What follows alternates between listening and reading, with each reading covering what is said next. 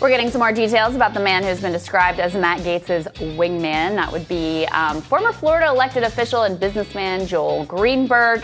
He's the one that the feds started to investigate for his uh, activities with regards to women, underage and otherwise, and that led them to Gaetz. He's now also reportedly cooperating um, with investigators with regards to whatever was going on with Matt Gaetz. So here's the details as we know them about Greenberg's Venmo payments.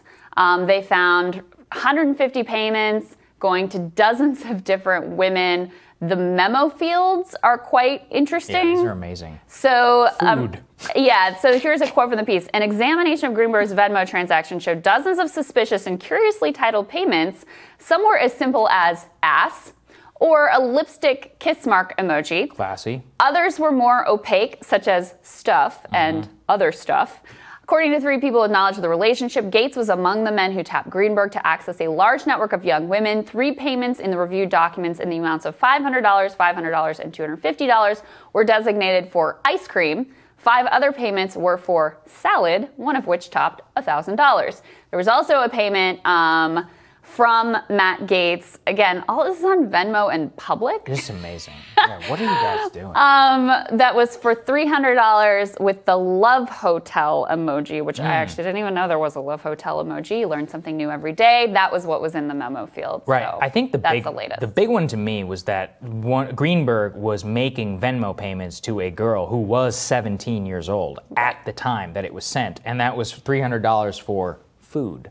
And that was the exact same girl, according here to the Daily Beast, that Gaetz later Venmoed Greenberg to hit up blank, using the nickname for the girl who was a teen. She was 18 years old at that time, but it would at least back up the idea that Mr. Greenberg did have associates who were underage at the time that he was paying them, allegedly, all allegedly, for sex. So I don't know if this is the girl who is at the center of the inquiry who was 17 years old, transported across state lines allegedly by Mr. Gaetz or his associates or whomever, but it would at least back up the idea that they were cavorting with very young women, including Greenberg at the very least, with somebody who was young and continued that association later on to the extent where Gaetz even paid eh, paid Greenberg in order to hit up so and so. So all of this is just extre- extremely skeevy, um, and it just demonstrates that Gaetz was living quite a lifestyle here for the last couple of years.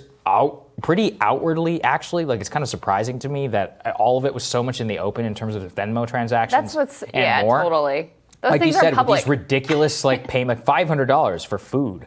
Thousand dollars for salad. Greenberg said it was for school. I, I that's, uh, that's something uh, I don't even know what to say about that one. I mean, look, yeah. I'm not trying to be like a, a, moral Puritan here. I personally think sex work should be decriminalized. I think drug use should be decriminalized. Um, but there's an interesting story here about just pay really close attention to the people who actually know Gaetz. Yeah and what they're doing and saying, which is basically nothing. I mean, they're just completely staying silent and staying out of it.